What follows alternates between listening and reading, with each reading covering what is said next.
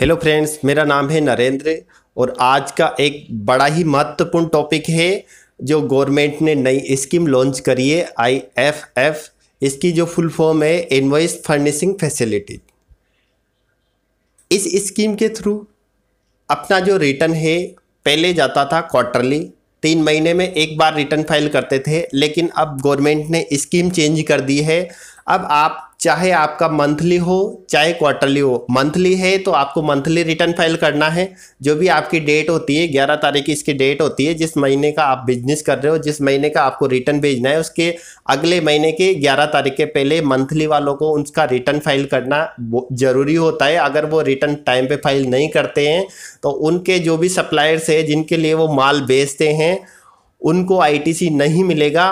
ऐसे ही क्वार्टरली वाले जो क्वार्टरली रिटर्न फ़ाइल करते हैं, उनके लिए एक अलग से नई स्कीम चालू करी है इनवाइस फर्निशिंग फैसिलिटी इसके थ्रू जो जिन पार्टियों के लिए माल बेचते हैं, उनको चाहे वो आपकी दो पार्टी हो, चाहे चार पार्टी हो, जिस महीने में B B to B party जो होती है बिज़नेस टू बिज़नेस जिन पार्टियों को आप माल बेचते हो जीएसटी वाली पार्टियों को तो उनको उनका रिटर्न आपको हर महीने फ़ाइल करना होता है, तब जाके उनको आईटीसी वो क्लेम कर पाएँगे और ये जो फैसिलिटी है, नई लॉन्च करिए। अभी इसके फीचर्स भी जैसे सॉफ्टवेयर्स होते हैं, उसमें नहीं आए हैं तो इसमें एक, जो फैसिलिटी है जीएसटी पोर्टल से एक यूटिलिटी है, उसके थ्रू आप कन्वर्ट कर सकते हैं। जीएसटी आर वन की जैसे आप रिपोर्ट निकालते हो बीजी सॉफ्टवेयर में जीएसटी आर वन की जैसे आप रिपोर्ट निकालते हो, उस रिपोर्ट को सीएसवी फ़ाइल में आपको सेव करना है। उसके बाद मैं आपके लिए बताऊँगा किस तरह से उसको कन्वर्ट करना है आई एफ़ एफ़ में। तो आप, जैसे आप उसको कन्वर्ट कर लोगे तो आप उसे जीएसटी पोर्टल पे फ़ाइल कर सकते हो और आपके जो भी कस्टमर्स है, उनको आईटीसी दे सकते हो।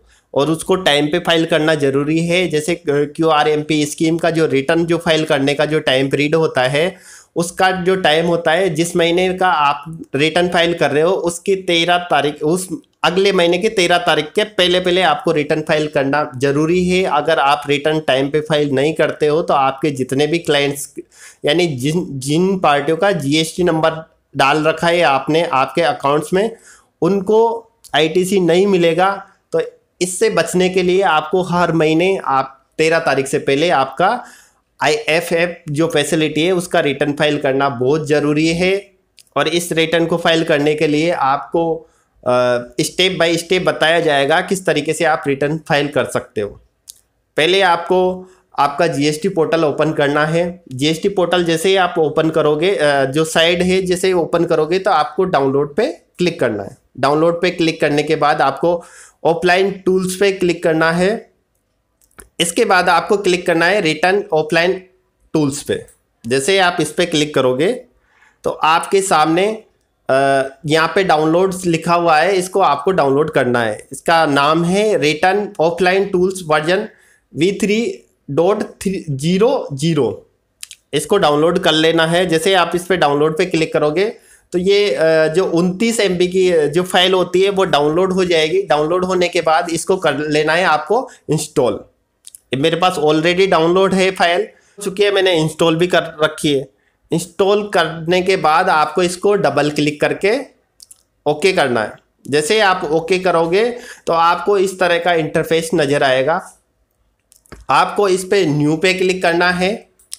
न्यू पे क्लिक करने के बाद आपको G S T R one I F F इसमें एंटर है। जैसे आप इस पर एंटर करोगे तो इसमें आपको G S T of suppliers के जीएसटी नंबर एंटर करने हैं।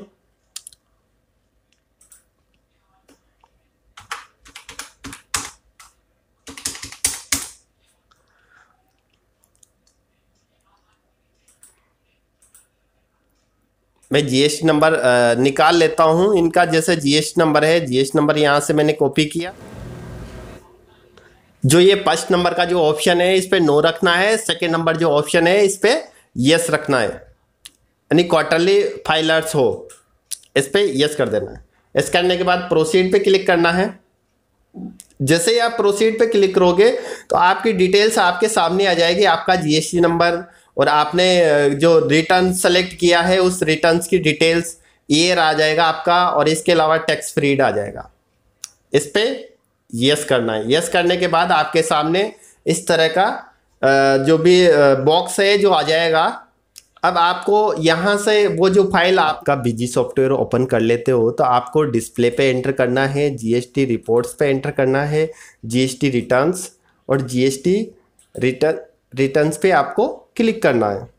क्लिक करने के बाद आपके सामने यहाँ पे जे फ़ाइल और इसके बाद आपकी C S V files as per government template और प्लेन एक्सल लिखा हुआ है। तो आपको सी एस वी फ़ाइल पे एंटर करना है। सी एस वी फ़ाइल पे जैसे आप एंटर करोगे तो यहाँ पे आपको टाइम पीरियड डालना है कि कौन से मंथ का आप G S T R one निकालना चाहते हो। जैसे मैं टाइम पीरियड है एक जनवरी से इकतीस जनवरी। इसके बाद मैंने जो डेस्कटॉप पे एक फोल्डर बना रखा है B G I F F के नाम से एक फोल्डर बना रखा है जैसे ये फ़ाइल बनेगी, ये उसी में सेव हो जाएगी। मैं इस पर कर लेता हूँ, क्लिक। क्लिक करने के बाद आप यहाँ से ट्रांजेक्शन चेक कर सकते हैं कि किसी पार्टी का जीएसटी नंबर गलत तो नहीं है।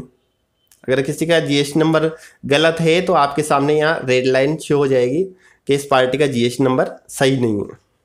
इसके बाद अगर आपके कोई एचएसएन में कोई किसी तरह की प्रॉब्लम है तो यहाँ से पता कर सकते हो, और जो थर्ड नंबर का जो ऑप्शन है यहाँ कुछ एरर्स डॉक्यूमेंट से रिलेटेड कोई एरर होगा तो ये यहाँ से पता कर सकते हो। आपको proceed with C S B पे क्लिक करना है। जैसे ही आप क्लिक करोगे तो आपके पास यहाँ से एक कंप्लीट तरीके से फ़ाइल बन के तैयार हो चुकी है।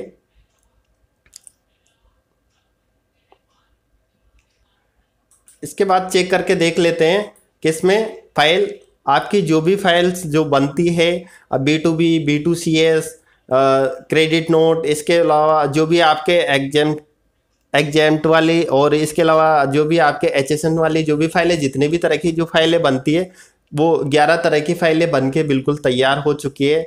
इसमें से आपको बी टू बी इन्वाइस ही अपलोड करने हैं और इस रिपोर्ट्स में से जैसे आप चेक करोगे तो मेरे पास जो बी टू बी की जो इन्वाइस है, ये मेरे पास इसका जो के बी है, ज़्यादा है। मतलब इनमें डॉक्यूमेंट्स यानी ये बिल्कुल ब्लैंक है, इसमें कुछ भी नहीं है डेटा इसलिए इनका जो के है बहुत कम है और इसका जो लास्ट का जो डेटा है, इसमें फोर के की जो फाइल्स है, इसमें वी टू बी फाइल्स है, इसका चेक करके देख लेते हैं कि इसमें पार्टी का जीएसटी नंबर लिखा हुआ है पार्टी का नाम लिखा हुआ है इनवॉइस नंबर लिखा हुआ है। इस तरीके से ये बी टू बी की डिटेल्स इसमें मेरे पास कंप्लीट तरीके से आ चुकी है। अब इसको आप जो आई एफ़ एफ़ में कन्वर्ट करना है तो किस तरीके से आप कन्वर्ट करोगे, इसके बारे में मैं आपके लिए बताऊँगा। जैसे इसको कर देता हूँ, मैं बाहर निकल जाता हूँ। इसके बाद आपने जो वो यूटिलिटी डाउनलोड करी थी तो उस पर आ जाना है। इसके बाद यहाँ इंपोर्ट फ़ाइल पे क्लिक करना है। यहाँ पे लिखा हुआ है इंपोर्ट रिटर्न ऑल सेक्शन आपको ऑल सेक्शन सेलेक्ट नहीं करने हैं, आपको ओनली वन सेक्शन सेलेक्ट करना है। फ़र्स्ट में वन सेक्शन और सेकंड आप क्रेडिट नोट का सेक्शन सेलेक्ट कर सकते हो या बिल अमेंडमेंट का सेक्शन सेलेक्ट कर सकते हो। आपको ऑल सेक्शन सेलेक्ट नहीं करने हैं। मैं फ़र्स्ट में कर लेता हूँ B to B B to B पे जैसे ही क्लिक करूँगा तो मेरे सामने दो ऑप्शन और नज़र आएँगे। फ़र्स्ट वाला जो ऑप्शन है, इस पर मेरे को क्लिक करना है। जैसे मैं क्लिक करूँगा इम्पोर्ट सी एस वी पे इम्पोर्ट सी एस पे क्लिक करने के बाद मेरे सामने वो जो मैंने रिपोर्ट बनाई थी, उस, वो पूरी रिपोर्ट मेरे सामने आ चुकी है। इसमें से मुझे केवल बी टू बी इन्वॉइस जो भी है, वो वाली फ़ाइल सेलेक्ट करनी है। इसके बाद मुझे कर देना है ओपन ये जैसे आप क्लिक करोगे तो इसकी डिटेल्स भी आपके सामने आ चुकी है बिल्कुल कंप्लीट तरीके से। जीएसटी नंबर पार्टी का नाम इनवॉइस नंबर ये जो जीएसटी का जो फॉर्मेट होता है, इसमें ये कंप्लीट तरीके से सेव हो चुकी है। अब इसको आपको चेक करना है कि कहीं पे जो आपने जो डेटा इसमें अपलोड किया है, इसमें कोई गलती तो नहीं है। इसको चेक करने के लिए मैं आ जाता हूँ बीजी सॉफ्टवेयर पे। मेरे पास टोटल इन्वॉइस है, जो 19 इन्वॉइस है, मैं चेक कर लेता हूँ कि मेरे पास जो रिटर्न्स जो मैंने जनवरी का जो G S T R one को कन्वर्ट किया है आई एफ़ एफ़ फैसिलिटी में तो मेरे पास टोटल 19 इन्वॉइस है, ज़्यादा है या कम है? एक बार चेक कर लेता हूँ। जैसे चेक करना है तो आप यहाँ से चेक कर सकते हो जीएसटी रिटर्न्स पे क्लिक करना है। इसके बाद जीएसटी रिटर्न्स आर वन पे क्लिक करना है। इसके बाद आपको डेट एंटर करनी है। डेट एंटर करने के बाद आपके सामने इस तरह की रिपोर्ट बन के आएगी। यहाँ पे टोटल इन्वॉइस है जो 19 बने हुए हैं मेरे पास। और यहाँ पे भी अपलोड जो हुए हैं 19 है। इसके अलावा सी जी एस टी है, इनका अमाउंट है तेरह हज़ार सात सौ चौरासी रुपये पच्चीस पैसे। सी जी एस टी और एस जी एस टी भी इसका तेरह हज़ार सात सौ चौरासी रुपये पच्चीस पैसे अमाउंट है। इसको भी चेक करके पैसे आ रहा है। तो इसमें मात्र दस बीस पैसे का डिफरेंस है, ये कोई खास डिफरेंस नहीं है और इस तरीके से आप चेक कर सकते हो कि आपका जो भी G S T R one का जो डेटा है वो आई एफ़ एफ़ में कन्वर्ट हो चुका है और इसको कन्वर्ट होने के बाद आपका टैक्स अमाउंट चेक कर लिया, इसके बाद टोटल इन्वॉइस चेक कर लिया इसके बाद आपको जो दूसरा जो सेक्शन है, वो भी आपको चेक करके देखना है। मैं बेक आ जाता हूँ बेक आने के बाद इस पे यहाँ पे इंपोर्ट फ़ाइल पे क्लिक करना है। इसके बाद आपका अगर कोई क्रेडिट नोट्स है तो आप क्रेडिट नोट भी आपको यहाँ पे ऐड करने हैं। अगर आपका कोई अमेंडमेंट का है bill amendment B to B से रिलेटेड कोई अमेंडमेंट है तो वो वाली फ़ाइल भी आपको यहाँ पे ऐड करनी है। उसके बाद ही आपका एफ़ एफ़ की जो फैसिलिटीज़ है, उसका आप सही तरीके से यूज़ कर सकते हो। इसके बाद आपको करना है यहाँ पे व्यू समरी पे एंटर करना है। एंटर करने के बाद आपको यहाँ पे जनरेट फ़ाइल पे क्लिक करना है। जैसे आप जनरेट फ़ाइल पे क्लिक करोगे तो आपके सामने एक जेएसएन फ़ाइल बन के आ चुकी है। इसको कर लेता हूँ मैं डबल क्लिक करने के बाद, ये डाउनलोड हो जाएगी। मेरे पास ये फ़ाइल डाउनलोड हो चुकी है और पाँच बज के सोलह मिनट पर ये फ़ाइल डाउनलोड हो चुकी है और इसकी जो साइज़ है पाँच के बी है। ये मैंने पहले भी डाउनलोड कर ली थी, इसलिए फ़र्स्ट इसमें ये लिखा हुआ है, कोई दिक्कत नहीं है इसमें। तो आप इस तरीके से जे फ़ाइल बना के आप जीएसटी पोर्टल पे, जैसे आप इसको अपलोड करोगे जीएसटी पोर्टल पे कैसे अपलोड करनी है, इसके बारे में भी मैं आपके लिए बता देता हूँ। जैसे आप जीएसटी पोर्टल पे एंटर करोगे एंटर करने के बाद आपको लॉगिन पे क्लिक करना है और आपके यूज़र नेम पासवर्ड एंटर करने हैं।